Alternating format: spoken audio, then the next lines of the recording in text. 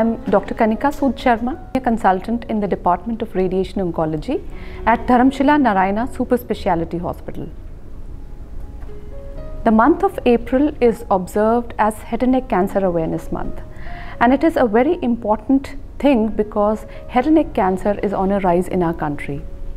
In the last 6 to 7 years there has been almost 116% rise in head and neck cancers.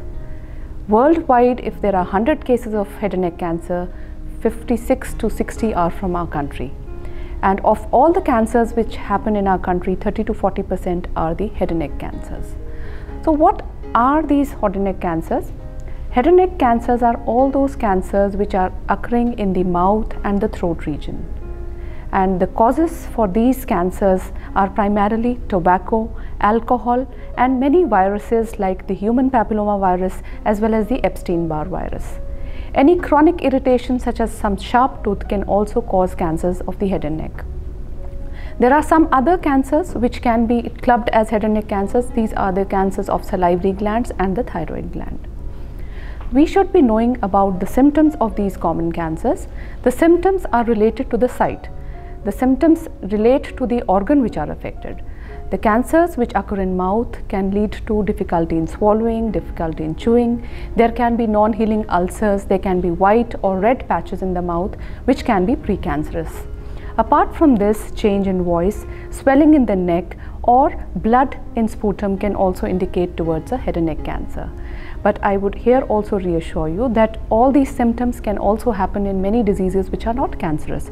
So you need not panic, rather you should approach to a healthcare service and get yourself treated and the diagnosis would be cleared there whether it's an infection or a disease. So what if somebody does get head and neck cancer? Head and neck cancers can be cured in a good amount of patients provided they come to us in an early stage. So once we do certain scans such as MRI or CT scans, we establish the stage of cancer and after that the treatment would be done either by surgery, radiation or chemotherapy. Surgery is mainstay of treatment in majority of oral cavity cancers. By oral cavity, I mean the tongue, the cheeks.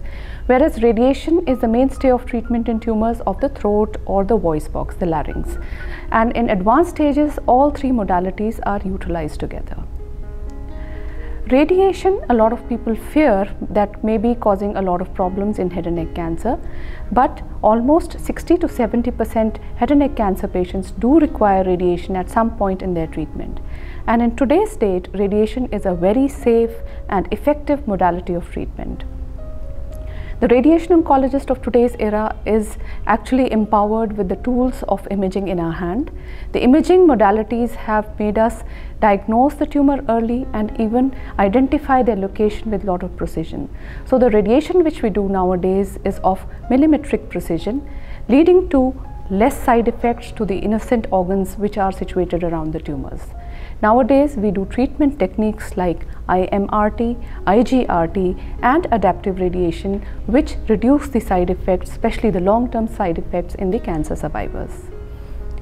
There are many new treatment modalities coming in. The machines such as Halcyon have particular advantages in patients for head and neck cancer. As I told you that we are doing treatment techniques like IMRT and IGRT, these techniques take a lot of time most patients have to stay for almost half an hour to 45 minutes on the treatment couch, which becomes uncomfortable to the patients, especially when they have a lot of secretions in their mouth. The modalities like Halcyon based linear accelerators have a very short treatment time because they have fast delivery techniques. So the entire treatment is finished within 3 to 6 minutes which makes the patients treatment overall very comfortable and the dual leaf technology which it embarks also makes it very precise. So there is a boon for the cancer patients in the current era in terms of technology. The only important thing is that you be aware of your symptoms, take care of yourself and get yourself diagnosed in time if you are suspecting such disease. Thank you so much.